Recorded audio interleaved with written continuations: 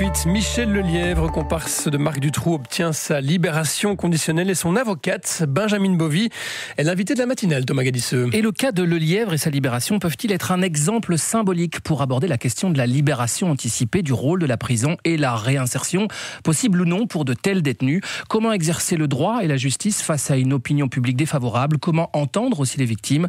Michel Lelièvre sortira de prison sous condition, là où, s'il avait été à fond de peine, il serait libre de toute contrainte. Il a été condamné pour l'enlèvement de Sabine Laetitia Anne Eve. C'était en 2014, en 2004, pardon. Il est copé 25 ans de prison. Bonjour Benjamin Bovy. Bonjour. Il est prêt à sortir de prison aujourd'hui, euh, Michel Lelièvre? Je, je, crois, oui. Je crois, ça a été, euh, c'est un travail pour lui. Ça n'a pas été. Euh, il y a vraiment eu tout un chemin pour lui, un chemin au travers de l'incarcération. Euh, le jugement le relève fort bien que depuis quelques années, il a mis en place un suivi psychologique tout à fait particulier. Qui, euh, il a noué une vraie accroche avec une psychologue. Il a fait un gros travail sur lui-même, euh, ce qui n'est pas évident hein, de regarder l'horreur des faits qu'il a commis parce qu'il est parfaitement conscient que, que, que ce qu'il a fait est abominable. C'est le terme qu'il emploie lui-même.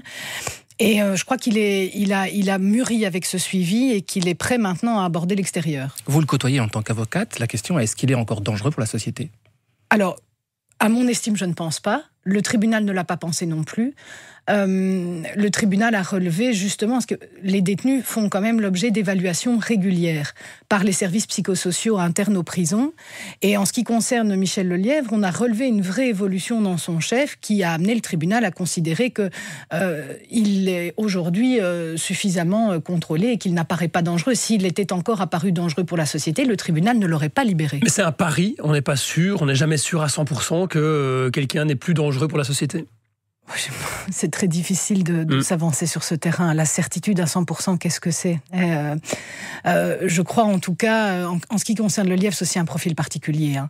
Euh, tout le monde quand même s'accorde à dire que si le lièvre n'avait pas fait la connaissance de Marc Dutroux, probablement n'aurait jamais-il commis des, faits de, de cette nature-là, ce qui ne l'excuse pas et c'est qui ne diminue pas sa culpabilité.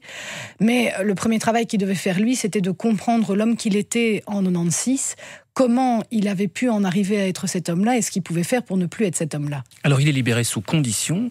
Euh, A-t-on les moyens de vérifier justement si ces conditions sont respectées. On connaît la situation de la justice en Belgique, du suivi aussi des détenus. Euh, se pose derrière cette libération conditionnelle la, question du suivi des conditions. Oui, ça, l'arsenal de suivi est quand même assez euh, important et il faut savoir que euh, des cas comme le cas de Michel Lelièvre ou d'autres détenus assez emblématiques, je crois, font l'objet d'un suivi particulier. Par exemple, dans ces conditions, il est prévu qu'il doit pouvoir se soumettre à tout contrôle inopiné euh, en matière de stupéfiants ou d'alcool. Donc on peut venir prendre une prise de sang chez lui ou une prise d'urine pour vérifier qu'il a consommé du cannabis ou autre chose. Je crois que l'État n'hésitera pas à le faire en ce qui concerne M. Lelièvre. Il y a des gens pour suivre les détenus, oui. Et le tribunal lui donne donc un délai de six mois pour se trouver un logement, mmh. vu la situation. Les mois au sein de la population, hein, qu'avait suscité aussi et qu'on avait observé lors de la libération de Michel Martin, comment on gère ça? Comment on trouve un logement pour un tel détenu en Belgique? Ah mais c'est un petit challenge. Hein. Alors il y a des, des, des, agences immobilières qui ont accepté euh, de prendre son dossier et de, il y a un parc immobilier entre guillemets avec quelques logements qui pourraient potentiellement être disponibles pour lui. Euh, c'est clair que le nom de Michel Lelièvre fait fuir beaucoup de gens. C'est à l'époque ce qui avait entraîné euh, en 2013, je crois, j'étais pas son avocat, il avait introduit un plan de reclassement avec une formation en menuiserie et face à la pression médiatique, la SBL qui donnait cette formation a reculé. Mais on a quand même des pistes assez sérieuses et on a déposé un dossier devant le tribunal parce qu'on avait des pistes sérieuses que le tribunal a considérées. S'il avait été à fond de peine, oui. il n'y aurait eu aucune condition justement Rien. à sa sortie de prison. C'est le pari que vous faites en fait. Oui. C'est en le libérant de manière anticipée, au moins on assure un suivi. Que s'il allait à fond de peine, alors il était libre, entre oui. guillemets, dans la nature et sans, sans du coup euh, suivi ce que je trouve, ce que je trouve particulièrement louable dans la cause de Monsieur Lelièvre, c'est que le tribunal l'a écrit. Et donc, euh, dans le prononcé du jugement, ils disent que c'est dans l'intérêt de la société de libérer anticipativement Monsieur Lelièvre. Et le tribunal écrit noir sur blanc que l'amener à fond de peine fait qu'on lui ouvrira la porte et qu'il n'y aura aucun contrôle, et qu'il est dans l'intérêt de la société d'avoir un contrôle qui va perdurer au-delà de sa date de libération fictive. Donc, On peut dire qu'il y a une valeur symbolique derrière ça? une valeur symbolique je ne sais pas si c'est vraiment une valeur symbolique. Moi, j'ai plutôt l'impression que le tribunal a fait un travail pragmatique. Parce que ici, il a été libéré sous conditions. Ces conditions vont durer plusieurs années et donc bien au-delà euh, de la date à laquelle il aurait dû sortir de prison. Et donc, je crois que pragmatiquement, le tribunal s'est dit c'est beaucoup plus utile pour la société de le faire sortir. Face à, ce, à de telles décisions, se pose toujours la place des victimes dans ce cheminement-là. Est-ce qu'il va les indemniser, par exemple? On sait que Michel Martin devait le faire, ça faisait partie de ses conditions. Pas un euro n'a été versé aux parents des victimes. Alors, dans le cas de Michel Lelièvre, il y a eu, euh, parce qu'il y a eu des périodes où il a pu travailler en prison, et dans ces périodes-là, il a commencé à indemniser les victimes. Bon, maintenant, en prison, on est payé 1 euro de l'heure, hein, donc euh, ça a été à concurrence de ce qu'il pouvait, entre guillemets, mettre de côté.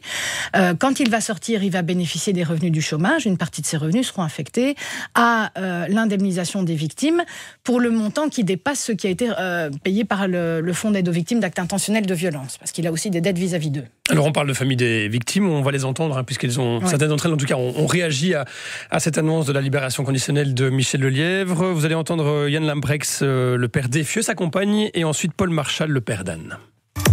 Nous n'avons jamais eu de réponse à nos questions, jamais.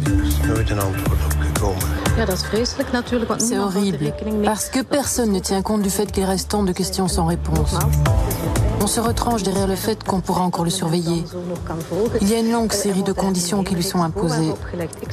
J'aimerais savoir ce qui va arriver s'il ne les respecte pas. Je me demande qui va contrôler cela et avec quelles sanctions. Je pense que dans ce cas, on aurait dû faire un exemple. Il n'y a pas que Dutroux qui aurait dû purger toute sa peine. Martin et le lièvre auraient dû aller au bout de la peine prononcée par le jury populaire. Benjamin Bovy, vous êtes l'avocate de Michel Lelièvre. Vous nous disiez en début d'interview qu'il était prêt à sortir de prison. Est-ce que la société belge, est-ce que l'opinion publique, elle, est prête à ce que Michel Lelièvre sorte de prison? Je ne sais pas si c'est une question qui doit vraiment se poser parce que la question de la libération des gens, comme la question de la condamnation des gens, est une prérogative de l'État, à juste titre, pour éviter la, passion. On n'est pas capable de juger objectivement quelqu'un quand on est passionné, quand on est pris de colère ou d'amour, à l'inverse. Et justement, c'est très bien que le système, notre système, soit l'État de droit soit fait de telle manière que les juges ont une forme de distance vis-à-vis -vis de tout ça. C'est très nécessaire.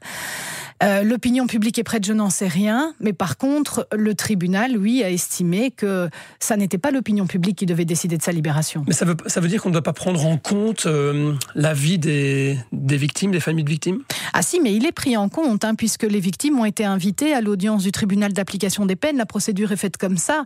Euh, et les, les, les, victimes sont invitées aussi à remplir des fiches pour, notamment, et vous avez entendu que la libération de Michel Lelièvre est assortie de toute une série de conditions géographiques, ou plutôt d'interdictions géographiques qui sont directement liées aux souhaits des victimes, donc elles sont entendues dans ce processus. Benjamin Bovy, vous êtes l'avocate de Michel Lelièvre, un autre avocat, euh, le maître Daillé, l'avocat de Marc Dutroux, et il mène un combat justement parce qu'il considère que Dutroux c'est un symbole des errements, hein, dit-il, de, de, notre système carcéral.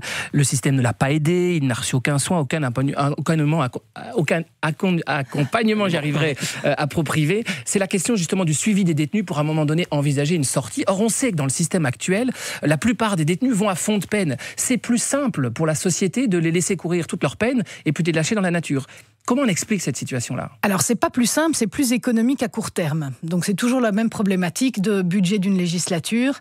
Euh, il est un fait certain qu'en prison, l'accompagnement des détenus pour la réinsertion est pratiquement inexistant. Si le détenu ne se mobilise pas tout seul, si le détenu ne passe pas des coups de fil pour rencontrer des assistants sociaux, des psychologues, pour mettre en place des choses, il ne se passera pratiquement rien. Ça n'est pas parce que l'administration pénitentiaire est incompétente. Il y a un tas d'assistants sociaux au sein des prisons et de psychologues qui sont formidables, mais ils sont trop peu nombreux. Et ça, on le dénonce et on le dénonce et on le dénonce. Et donc, ça n'a, vous vous retrouvez avec des gens qui se retrouvent avec des peines de 5, 6 ans, qui vont rester dans leur cellule 23 heures sur 24, ne vont rien faire, et quand ils sortiront, ne seront absolument pas prêts à une réinsertion. Et vous comprenez que ce discours-là n'est pas audible pour ce genre de détenus, surtout autour de l'affaire du trou mais, mais non, j'ai du mal à le comprendre parce que je, je suis assez pragmatique. Hein. On est au-delà de l'humanisme, c'est de la pragmatisme. Je, je crois que ce, la prison doit réinsérer les gens et éviter la récidive.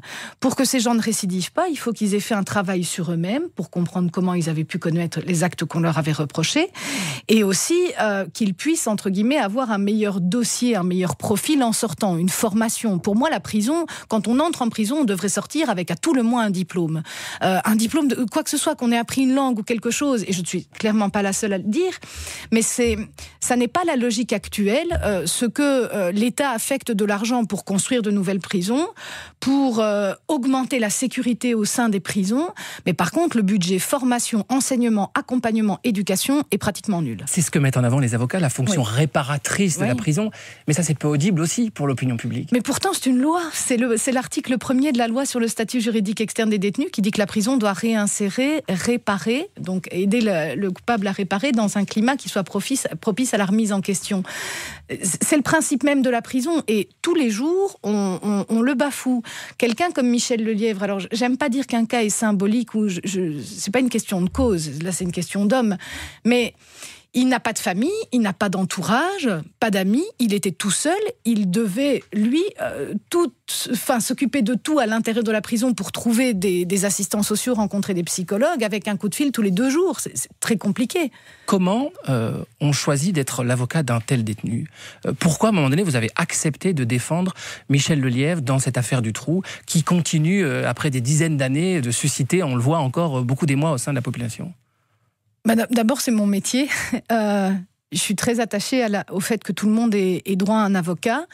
Euh, j'ai rencontré Michel Lelièvre. Euh, c'est en fait c'est un confrère qui m'avait transmis le dossier, un confrère qui savait pas s'en occuper. Je l'ai rencontré. On a discuté de de ce qu'il voulait faire et on se pose des questions quand même en tant qu'avocate avant de défendre un tel détenu? Oui, toujours, on est des humains, on est des êtres humains. Et moi, quand j'ai rencontré ce monsieur, il m'a paru euh, sensé, lucide, euh, il m'a paru surtout euh, vouloir être, enfin, être sur un chemin et on arrivait à discuter tous les deux de ce qui était possible et pas possible. C'est pas du tout quelqu'un, par exemple, qui se présente en victime. J'aurais plus de mal.